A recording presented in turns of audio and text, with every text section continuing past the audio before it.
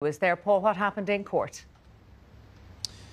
Yes, so Conor McGregor faces seven charges in relation to road traffic offences, which are alleged to have occurred on the interchange of the N4 and M50 in Palmerstown in March 22nd last year. Now, he, as I say, he faces seven charges. The charges including two of dangerous driving, driving without a licence or insurance, failing to produce a licence or insurance, and careless driving. Now, this is the fifth time that this matter has appeared before Blanchardstown District Court. Uh, the 34 year old uh, MMA fighter has attended all previous uh, four uh, court hearings. But today the court was told just after 11.30 this morning that Mr McGregor was indisposed, that he had attended his GP this morning and that he had the flu. Uh, now, his barrister David Staunton told a previous uh, court hearing back in November that his team were putting together a proposal to be considered by the prosecution and it was hoped that the matters could be dealt with today. However, David Staunton telling the court this morning that the matters matters have so far not been able to be resolved and he requested a hearing.